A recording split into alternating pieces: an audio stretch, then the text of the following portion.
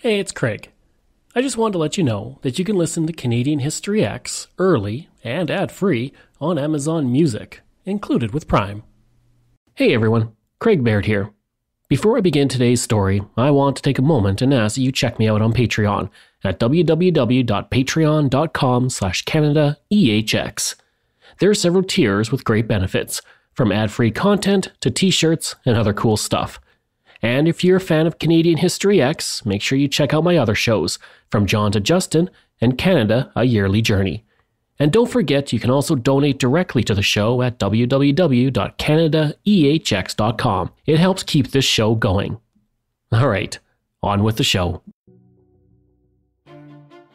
Farran's Point, Ontario, traces its history back to the 1790s when Charles Curtis Farran Sr. settled in the area.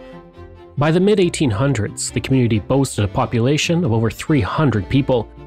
And as the 19th century drew to a close, the village had two hotels, two inns, a bakery, several taverns, a marble shop, and a blacksmith shop.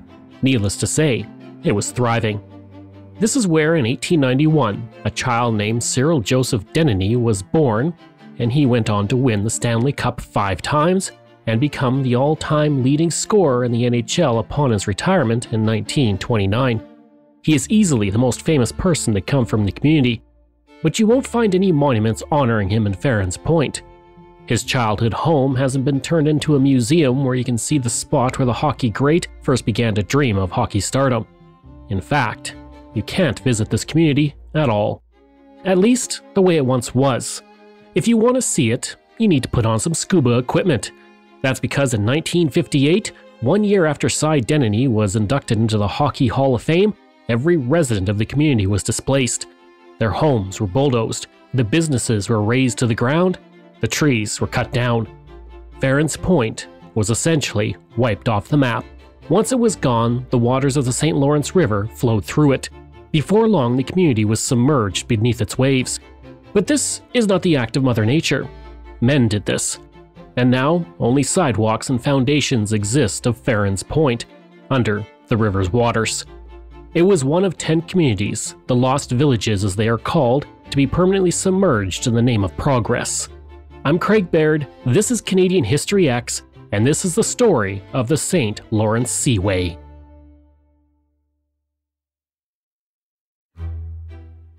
To begin our story, we need to journey back in time a few thousand years. The last ice age lasted from 115,000 to 11,700 years ago. The peak of that very cold time was 21,000 years ago. That's when almost all of Canada, except for much of modern day British Columbia, was covered by ice sheets that were upwards of 3.2 kilometers thick over present day Nunavut and thinner along the edges south of the Great Lakes. There was a lot of frozen water and a lot of weight pushing down on the earth below, Around 20,000 years ago, those immense ice sheets began to melt in a process that took nearly 10,000 years. And as the ice sheets melted, they retreated north, leaving behind a lot of water. And that's how many of our largest lakes, including Lake Winnipeg and the Great Lakes, were formed. Other bodies of water that were formed then are now mere remnants of what they once were bodies of water like the Champlain Sea. The Champlain Sea formed from glacial meltwater about 13,000 years ago and stretched from what we know today as Ottawa to Montreal and up to Quebec City. There was a time when whales swam where the Parliament buildings are now, because at its largest, the sea was 55,000 square kilometers in size. Within the waters of the Champlain Sea, a river was waiting to be born the St. Lawrence. Much of our landscape has actually been shaped by the glaciers. South of Calgary, there's a town called Okotoks the community takes its name from the massive glacial erratic that was transported 300 kilometers from the north 20,000 years ago and deposited on the open prairie. It's as tall as a three story apartment building. I actually visited that location in 2001 and it's very interesting to see. And the name Okotok is actually the Blackfoot word for big rock. Now, the rivers have cut through the landscape from the Rockies to Hudson Bay, and they were shaped by the glaciers as they disappeared and even places that were not touched by glaciers were shaped by them. In southeastern Alberta and southwestern Saskatchewan, there is the Cypress Hills. These hills were not covered by glaciers, and they have a landscape unlike anything in the surrounding area. Their flora and fauna is much more in line with the Rocky Mountains than the grasslands of the two provinces. The sea had been created by massive ice sheets that pressed down on the earth below it, and with them gone, the land rebounded and levels rose higher and higher year by year. It took 3,000 years, but eventually the Champlain Sea was gone, and what remained was the St. Lawrence River, which today is 500 kilometers long, 928 kilometers if we include its estuary. Water from the Great Lakes flow out and eventually find its way to the ocean via the St. Lawrence River, and it's not a quick process. A drop of water from Lake Superior on its western edge takes 200 years to reach the Atlantic. Possibly more than any other river in Canada, the St. Lawrence has played an important role in our history from the pre colonial era onwards. For First Nations, the river was a vital trading route which covered hundreds of kilometers. Nations along the river had many different names for the St. Lawrence. The Algonquins called it Magtogoek, meaning walking path. But most of the names for the river reflect exactly what it was a great river. The modern name for the river comes from two men, Jacques Cartier and later Samuel de Champlain. Jacques Cartier arrived at the Gulf of the River on August 10, 1534, which was the feast day of St. Lawrence, the patron saint of librarians. He returned to England before venturing any further, but the Gulf had a name. When Jacques Cartier navigated up the river on his second voyage to North America in 1535, he believed he had found the Northwest Passage and a route to the Pacific Ocean. He was a bit off on that assessment. Regarding the Northwest Passage, a while back I covered the story of the Franklin expedition, which attempted to find the passage. It ended in tragedy, but it makes for a compelling story, so I encourage you to check it out on my podcast, Canadian History Ehx. When he reached River Rapids outside modern day Montreal, he named the rapids Lachine, the French word for China. Those rapids put an end to any hope of sailing from the Atlantic Ocean to the interior of North America and the Great Lakes, at least for a while. Over the next few decades, French explorers called the river Grand Fleuve de Hochelaga and Grand Rivière de Canada. In 1604, Samuel de Champlain recorded the river's name as Fleuve Saint Laurent on a map, extending the name of the gulf to the name of the river itself, and thus the St. Lawrence River's name was born. A century and a half after Cartier first reached the Lachine Rapids, work to bypass them began. In 1680, a Montreal seminary began to dig a short 1.5 meter deep canal for canoes to use. It was a small step, but it was a start. Ten years later, the New France colonial government began the process of building a canal to allow ships to bypass the rapids, but due to costs and logistics, the canals did not go far beyond the planning stage. A man named Gideon de Casson attempted to build a canal in 1700, but he went bankrupt halfway through, and little was done for the next half century. Then New France was conquered by the British in 1765 following the end of the Seven Years' War, and the British finally decided to do something about those pesky rapids, but not right away. It took until the American Revolution, which took place from 1775 to 1783, for Britain to build canals to bypass the rapids. Britain was worried about an American attack along the border, and getting ships past Montreal was key to the defense along present day southern Ontario. The British built four small canals connecting nearby Lake St. Louis and Lake St. Francis at Montreal to aid the movement of narrow draft ships. And while these small canals did help, they were only 0.76 meters deep, with five locks that measured 1.83 meters wide. Yet, that was all that Montreal had for the next few decades, until a man with a love of sugar came along. In 1816, a penniless young man named John Redpath arrived on a ship from Scotland in Quebec City and then set off on foot to Montreal. He must have been determined because apparently he made the walk barefoot. Although that story most likely has been embellished over time, he most likely just had shoes with a lot of holes in them. Nonetheless, Redpath had trained as a stone mason in England, and that proved to be his path to success in Montreal. With a strong work ethic and a good sense of business, he slowly grew a construction business as the city developed. Only five years after he arrived, he was part of a new consortium that formed in 1820 to build a canal to bypass the Lachine Rapids. The man who arrived in Canada penniless was the main contractor. The consortium bought the land for the canal from the Roman Catholic order, who had left it unused for about two decades. Ground was broken on the historic canal project on July 17, 1821. Four years later, the canal was completed, and the first stage of the eventual St. Lawrence Seaway was concluded. And that year, Montreal had a population of 27,297 people. It measured 14 kilometers long and had seven locks. Each lock was 30 meters long and 6 meters wide. The impact on Montreal was immense, as now ships could travel past the Lachine Rapids and this brought with them a lot more trade, so factories were built along the banks of the canal and people flooded to the city to find work. In 1832, Montreal was incorporated as a city, and by 1871 there were 130,000 people living in the city, and it was the most populous city in Canada. That title would hold until 1998, when Toronto took over. Meanwhile, the Lachine Canal also helped raise John Redpath's profile, and he was commissioned for new projects, including the first buildings of McGill University and the stunning Notre Dame Basilica in Montreal. In 1856, he founded Redpath Sugar, then built the first sugar refinery complex in Canada. By the time he died in 1869, he had seen the annual ship traffic passing through the canal go from 600 vessels in its first year to 13,000 ships. On a bit of a side note, there's a very interesting story about Redpath Sugar. On June 13, 1901, Ada Redpath and her son Jocelyn were found dead in their Montreal mansion. Their bodies were buried within 48 hours, and there was very little investigation into what happened. No one knows what happened, or who killed them, and some claim their ghosts haunted the mansion, which unfortunately was torn down in 2014. A bit of a tangent away from our story, but maybe I will explore this story later in October. The Lachine Canal was a good first step, but to the west another barrier existed, and this one made the Lachine Rapids look like a relaxing bubble bath. Horseshoe Falls rise 57 meters in height and 790 meters in length on the Canadian side, making Niagara Falls a sight to behold and the most powerful waterfall on the entire continent.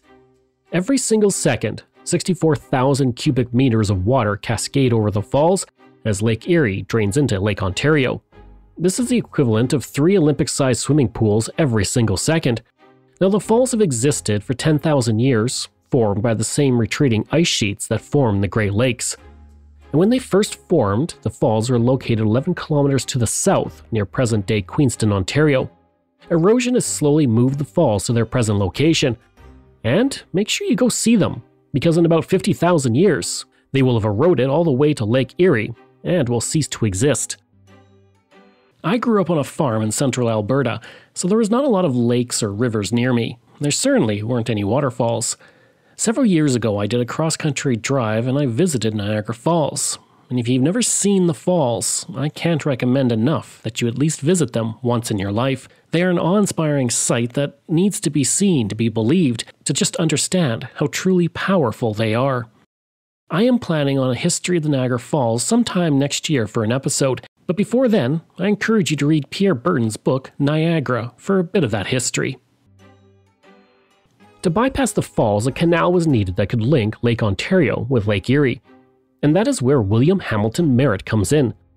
He was a businessman in the area and a veteran of the War of 1812. After the war, he bought a store, sawmill, and grist mill on 12 Mile Creek near Niagara Falls. Unfortunately, the water levels of the creek were unpredictable, and that made operating his mill difficult.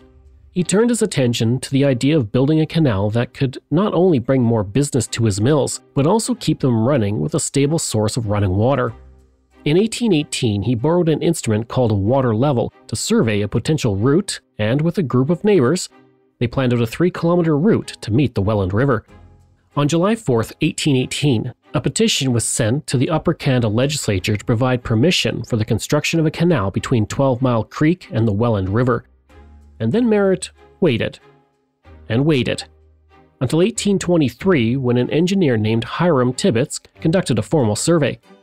His report suggested a canal about 1.2 meters below the surface level of the Welland River. This channel would run from Port Robinson to Allanburg, then follow 12 Mile Creek to DeCew Falls, and then decline and continue to Port Dalhousie on Lake Ontario. The following year, the Welland Canal Company was formed with $150,000 in capitalization. The route was adjusted somewhat as well, running from Port Robinson to Allanburg, then north through a series of canal locks to Merritton. On November 30, 1824, 200 people watched as ground was broken on work that would take five years to complete, and by 1829, the Welland Canal was finished, and a new connection between Lake Erie and Lake Ontario was formed. While the Lachine Rapids were bypassed, troublesome rapids existed just 100 kilometers downriver near Cornwall, Ontario, so the British government commissioned the construction of the Cornwall Canal in 1834. It took nine years to build, and when it was finished, it bypassed the Long Sault Rapids, running for 18 kilometers with six locks. But there was another ongoing problem. Ships kept getting larger, but the canals just stayed the same size. From the west, a ship could travel from Lake Superior to Lake Ontario thanks to the Welland Canal, but the St. Lawrence Canal system stood as a bottleneck to further passage into the ocean. To deal with this growing issue, the government embarked on one of its largest public work projects to that point. It was going to enlarge all existing canals and locks to 4.2 meters in depth. This alleviated the bottleneck, but progress did not stop, and a few years later they ran into the same problem. The companies that hauled the cargo and built the ships wanted something done. If a ship could travel from the Atlantic to Lake Superior, money and time would be saved. In the 1890s, commercial interests pressured for a binational deep water thoroughway. Business may move fast, but governments, they move slow. It took until 1909 for the first US Canadian Deep Waterways Commission to be formed to study the possibility of building a seaway. This led to the formation of a joint commission, but further movement towards a seaway stalled due to the First World War. In 1921, a report was commissioned on how the efficiency of water navigation could be increased in the St. Lawrence River. It was prepared by Colonel William P. Wootton of the U.S. Army Corps of Engineers and W.A. Bowden, the chief engineer of the Department of Railways and Canals in Canada. In June 1921, the report was presented to the International Joint Commission, Public hearings followed, and the final report was issued in December 1921. The Montreal Gazette stated The Wootton Bowden report calls for the erection of a series of lift locks and guard locks, deepening the channels, dams, extensive flooding, dikes, control works, embankments, etc., to make the St. Lawrence navigable from Lake St. Louis to Prescott by a channel 25 feet deep and varying in width from 200 to 600 feet. At the time, Canada was governed by William Lyon Mackenzie King and the Liberals, and King was pretty reluctant to proceed with the project because he faced opposition in some areas of Ontario and Quebec. There was a concern among residents that the deepening of the St. Lawrence River would result in more frequent floods. Another issue was that under the plan, two cemeteries would be flooded permanently. In one of those cemeteries was Sir James Whitney, the Premier of Ontario from 1905 to 1914. The Ottawa Journal wrote that this shouldn't be a problem. It stated, George Washington has been moved once, and if the United States could bear that, Ontario should not object to the removal of Sir James Whitney. But it didn't matter, because no progress was made after that point. For the rest of the 1920s, the topic of the St. Lawrence Seaway faded away. In 1930, the Liberals lost a federal election to the Conservatives, and R.B. Bennett became Prime Minister. Two years later, Bennett signed a treaty of intent with the United States for the Seaway project.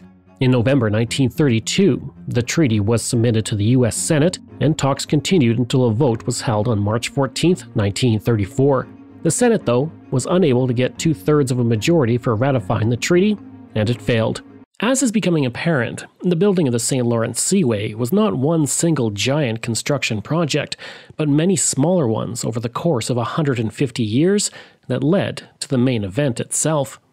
With each canal built, each rapid bypassed, the dream of a link between the Atlantic and Lake Superior became closer to a reality.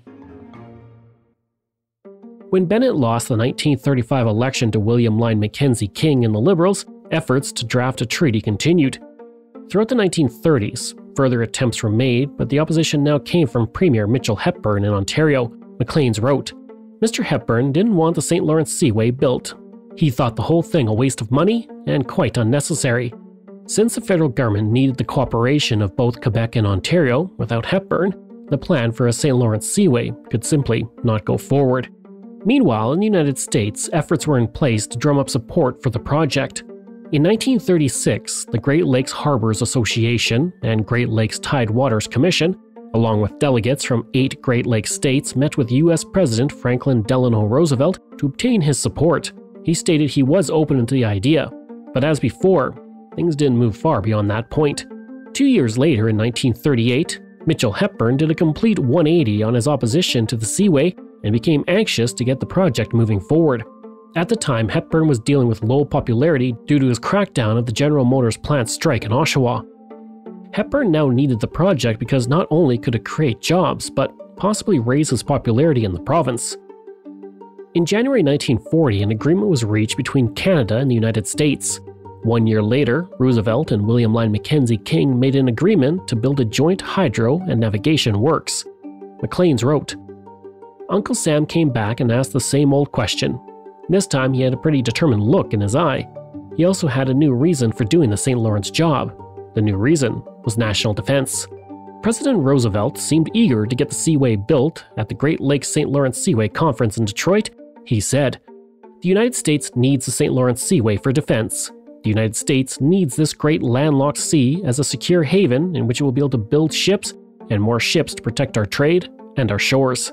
Despite the support of the president, any bill to join Canada in construction of the St. Lawrence Seaway simply failed to pass Congress, and neither Mackenzie King nor Roosevelt will live to see the day when the Seaway would break ground. But then, after the Second World War, things changed. The population was booming and trade internationally was increasing at an exponential rate as economies skyrocketed. Canada was now led by Louis Saint Laurent, who took office in 1948 when William Lyon Mackenzie King retired. He saw the benefit of the project and he was eager to move on construction. For those keeping track, the efforts to get the St. Lawrence Seaway built in the 20th century has gone through two prime ministers and two presidents. It will go through a few more before the project is officially designated as complete. So far, we've seen small canals become larger canals as Canada attempted to build something that could bypass the many obstacles that existed on the St. Lawrence and into the Great Lakes. Yet, while Canada always seemed to be relatively on board, for the most part, the United States continually lagged behind. Whether it was not seen as worth it or there was a worry about abandoning the profitable Erie Canal in the United States, it's hard to say. Yet, there was something on the horizon that was going to change everything going forward. It was war, and the need for national defense slowly brought the Great St. Lawrence Seaway into prominent focus, and we'll learn more about that after the break.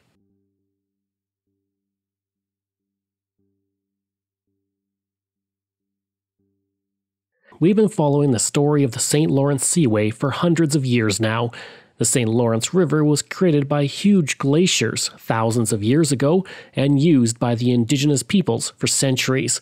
But now, as ships were getting bigger, the canals that existed simply were not up to the task. Coming up, as Canada continually waits for the United States to jump on board through the Great Depression and the Second World War, it will get impatient. Eventually, Canada will just decide that if there's going to be a St. Lawrence Seaway, it will have to be built by Canada itself, and that would prove to be just the push that the United States needed. Down in the United States, Harry S. Truman was president, and he took over following the death of Franklin Delano Roosevelt in 1945. And while Truman wanted the Seaway, the rest of his government simply didn't. On August 26, 1951, a U.S. congressional committee rejected the St. Lawrence Seaway project. After two decades of refusals, Canadians were impatient and the federal government decided that if the United States was not going to be part of it, then Canada was just going to build the Seaway itself and reap the rewards from it completely. This attitude was shared by Kay Kozva, a hydro employee in Niagara Falls. On September 7, 1951, Ontario Premier Leslie Frost received a $10 bill in a letter in a donation towards the St. Lawrence Seaway. The letter said, In order to do my share as a Canadian, I've decided to work overtime and contribute my earnings towards the all Canadian St. Lawrence Seaway. On September 28, 1951, the two leaders met, and Prime Minister Louis Saint Laurent told President Harry Truman that the Canadian government would construct the Seaway completely within Canadian territory. This was a real concern for Truman, who could see that it would give Canada all the revenue from such a seaway as opposed to splitting the revenue should they share the territory. Regardless, Canada would grant the United States permission to use it. When news got out about the ultimatum, there was a harsh reaction from American Senator George Aiken of Vermont, a supporter of the Seaway project. He said, It is a disgrace for the United States to force Canada to do this for their own protection. We ought to be ashamed of ourselves. Truman issued a statement saying his preference was a joint construction project. Representative Tom Pickett of Texas said, He's finally showing a little judgment. As America warmed to the joint project, Canada was not about to wait. On December 21, 1951, the Canadian federal government created the Crown Corporation St. Lawrence Seaway Authority. President Truman wanted U.S. involvement but still struggled to garner support. When a bill was put forward to the U.S. Senate in early 1952, Truman said, If Canada constructs the waterway, then no doubt some future administration will allow New York and Quebec to obtain all the power. This is one of the worst things that could happen in the northeast section of the country. His call to action fell on deaf ears and the motion was killed in the Senate. Instead, the Senate passed a motion, 43 to 40, to return the bill to its Foreign Relations Committee for further study. Canadian Transport Minister Lionel Chevrier said nothing would slow down Canadian plans to build the Seaway. And by the end of 1952, Truman was once again appealing to Congress. Representatives Harry McGregor of Ohio, who was a major critic, shifted gears in January 1953 and would agree to the project if terms were worked out in advance on sharing construction and maintenance costs. On January 12, 1953, debate began in the U.S. Senate, and a bill emerged from the House of Representatives Committee of Public Works on February 22, 1954. Unfortunately, Truman would never see the Seaway built as president, nor would it become part of his legacy. On January 20, 1953, Dwight Eisenhower replaced him as President of the United States. As for that bill introduced in February, it was approved by the House and Senate in May 1954, and the long road to American involvement in the project had finally come to an end. On May 13, 1954, President Eisenhower signed the St. Lawrence Seaway Bill, also known as the Wiley Dondero Seaway Act and joining Eisenhower at the signing was Canadian Ambassador A.D.P. Heeney. Eisenhower used nine pens to sign the bill. Three were made from wood recovered from Fort Detroit in Michigan, which was the last British held fort in the United States. Eisenhower said, Now work can begin on this great project. In a story about the St. Lawrence Seaway, we are nearly three quarters into the story before we get to the actual construction happening. As with so many things, though, the story of an event, person, or project in Canadian history often has much more lead up and small steps before things really get moving. The same is true for one of the biggest construction projects in Canadian history. On August 10, 1954, there was a groundbreaking ceremony that took place on the American side of the border. Governor Thomas Dewey of New York State pressed a button to set off a dynamite charge, while on the Canadian side, the ceremony was a bit less explosive. Prime Minister Louis Saint Laurent dug into the dirt with a shovel, along with Ontario Premier Leslie Frost. The Montreal Star reported Mr. Saint Laurent, after breaking ground, said that the ceremony has been characterized by the spirit of friendship and harmony, which Canada and the US have come to accept as normal. The St. Lawrence River has become a bond rather than a barrier. He said that the project will bind together all residents of the St. Lawrence Valley. And now, the project really got to work. One of the biggest parts of the project was the construction of the 2090 megawatt power dam near Cornwall, Ontario. Now, this came as a mixed blessing for Cornwall because, although it was expected to help in the future, especially thanks to the $1 million filtration plant the city received as part of the agreement, there were several problems for the city during construction. The city was flooded with workers who had to live in trailers and rented rooms due to a housing shortage. Rents skyrocketed and many families were pushed out. As many as 5,000 people traveled to see the construction as well, causing traffic chaos. And on paydays, construction workers were often rowdy at the end of the work week and kept the small police force very busy. Construction finished on July 1, 1958, when 27 tons of explosives were used to demolish the coffer dam that diverted the St. Lawrence River away from the new dam, and then it took only four days for the new hydro plant to become operational and begin providing power to Ontario and there were many changes to old infrastructure because of the St. Lawrence Seaway construction. Bridges had to be rebuilt to allow for larger ships to pass underneath. At the Jacques Cartier Bridge in Montreal, the piers were enlarged and the bridge was raised to 120 feet. A new higher span was built along the old bridge, then it was raised with hydraulic jacks and detached from the bridge frame. The new span was then lifted and fitted into place. The process of swapping bridge decks took only two hours. The Montreal Gazette reported The spring of 1955 may seem like just another spring in Montreal, but already huge bulldozers and other heavy equipment are about to move onto two projects bordering the South Shore. Last week, the authority called for tenders for excavation and construction of the seaway along about 4,900 feet in the river opposite Montreal, extending to the upper end of the present ship channel. In Ontario and Quebec, rivalries between towns sprung up as they all vied for a share of what the seaway could provide. Both Toronto and Montreal said they would be the gateway of the seaway. Toronto Mayor Fred Gardiner stated, Toronto will have a population of 2 million in 15 years. Nothing can stop us from being one of the most important cities in the world. And he turned out to be right in that regard. Toronto passed 2 million people in population in 1971. As a result of the construction of the Cornwall Dam, 15,400 hectares of land were flooded, which created Lake St. Lawrence.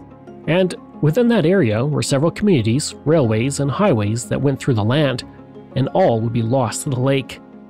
Aultsville, Dickinson's Landing, Farran's Point, Maple Grove, Mille Roches, Moulinette, Santa Cruz, Sheik's Island, Wales, and Woodlands are all lost beneath the waves. These communities became known as the Lost Villages. Residents were given market value for their homes, although many felt they were cheated because the Seaway Plan had decreased the property values before the government compensated them. And two communities were relocated rather than demolished. Iroquois was a larger town site, and the decision was made to move its population to a new site, and 152 buildings, mostly homes, were relocated. The community is now known as South Dundas after its amalgamation with Matilda, Williamsburg, and Morrisburg in 1998. Now, Morrisburg was the second community relocated because one third of the community would be lost to the St. Lawrence Seaway project, including its main street and original business district. A total of 87 homes were moved, and the entire downtown business district was demolished and relocated to a shopping plaza. Think about where you live now. Perhaps you've lived there for decades, or maybe your family has lived in the area for a century or more. Now think about being told you have to leave. You have no choice, really. The St. Lawrence is going to start rising, and your home is going to be underwater. Yes, the government is offering you money for your home, does that replace the many memories you have there? What did Cy Denneny think, knowing that his hometown was going to be no more? What would you think, knowing the place you loved is going to be under the waves? That one day, all that will exist of that place is the memories that you formed over the course of your life. It's a sobering thought, and one many people have had regarding many projects in Canadian history. The Canadian National Railway line also moved 1.1 kilometers north of its original location, and part of the flooded area included Crysler's Farm, a location of a major battle during the War of 1812, but the monument marking the battle's location was moved. Today, a few remnants of these villages remain, and sidewalks and building foundations can be seen under the water or even along the shoreline when water levels are low. In all, 525 homes, 6,500 people, 64 kilometers of railway, and 56 kilometers of highway were relocated, while 20,000 acres of farmland was lost. The Akwesasne people also lost 1,200 acres of reserve land and 15,000 acres of their traditional land. But unlike the residents of the lost villages, they were not consulted, and they were not compensated for their losses until 2008 when they finally received monetary compensation. Meanwhile, by the summer of 1956, over $122 million had been spent on Phase 1 of the project, which included the excavation and dredging, and everything was well on its way. Phase 2, which included the mechanical works, was just starting. And even locations far from the Seaway were excited to enjoy the benefits of the Seaway. In Labrador, the iron ore produced in the area would be shipped to Pennsylvania and then inland through rail. This came with high transportation costs, and the maximum demand for Labrador ore was about 10 million tons per year as a result.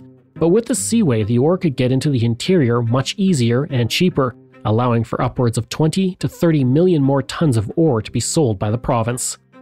On April 25, 1959, the St. Lawrence Seaway officially opened. The Windsor Star reported Opening today to ships from the seven seas, the new waterway has seven steps leading from the riverfront metropolis the land-bound harbors in the five Great Lakes. Maclean's wrote, with the seaway completed, there will be no physical barrier to prevent British ocean ships from sailing up the Great Lakes to Fort William and loading grain there. Each lock was 800 feet long and made of concrete and circumvented obstacles in the river such as rapids and the dam. The first step for a ship entering the seaway was to go under the Jacques Cartier Bridge, then into the Lachine Canal. The first lock lifted the boat 15 feet, while the second lifted it 30 feet. Then it would traverse Lake St. Louis into another channel with two more locks, then into Lake St. Francis and two more locks. On the first day, 68 ships stretched 225 kilometers down the seaway. On the ships were Prime Minister John Diefenbaker, 118 Canadian MPs, 21 senators, and 7 US congressmen. And then on June 26, 1959, the official public opening ceremony was attended by Prime Minister John Diefenbaker, President Dwight Eisenhower, and Queen Elizabeth II. President Eisenhower said, May this example never be forgotten by us. May it never be ignored by others. For in the reasonable resolution of the acute international problems of our time rests the single hope for world prosperity and happiness and peace with justice for all. Queen Elizabeth II said, This partnership is most agreeably symbolized, Mr. President, in the fact that you and I have joined together to perform this ceremony today. Over 40,000 people were in attendance, and the Sault Star wrote that 300 Roman Catholic church bells, the horns and sirens of 50 freighters, joined the cheer of the crowd to welcome the opening of the Seaway. The total construction of the Seaway cost $470 million, 336.2 million of which was paid by the Canadian government. The cost was mitigated by a toll system that was expected to compensate for construction costs within 50 years. Over the course of its construction, 22,000 people were employed at one point or another, and today the Seaway generates $3.4 billion in business in the United States and Canada, and each year, over 250 million tons of cargo moves through the Seaway. But not everything with the Seaway has been beneficial. The opening made the American Erie Canal obsolete, which caused a severe economic decline in upstate New York. It also had an adverse effect on the environment. With so many ships moving through the seaway, it's provided a conduit for many aquatic species to reach areas outside their typical habitat, and invasive species have become a serious problem. The zebra mussel has become one of the most damaging invasive species in the Great Lakes.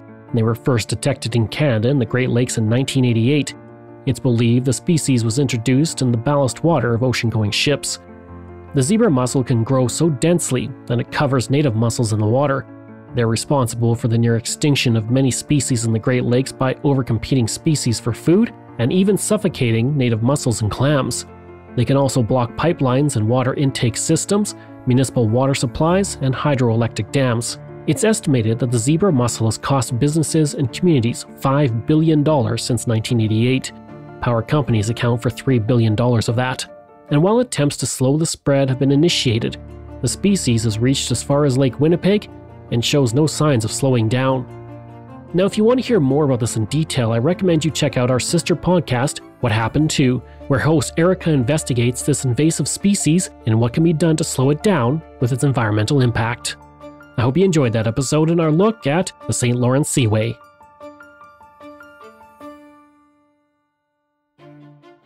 This show is researched, produced, and written by me, Craig Baird, with the help of Dila Velasquez. Audio production design by Rosalind Kufor. If this is your first time listening and you like what you heard, please take a moment and give us a five star review to help other people find these amazing stories. And there are so many for you to sink your teeth into. If you enjoy this podcast, then please check out my other podcasts From John to Justin, Canada A Yearly Journey, Pucks and Cups, and Canada's Great War. We love hearing from you, so if you have a show topic you want me to cover, email me at craig at canadaehx.com or stop by my website and social media. I'll include all of those in my show notes. Until next time, I'm Craig Baird, and this is Canadian History Ehx.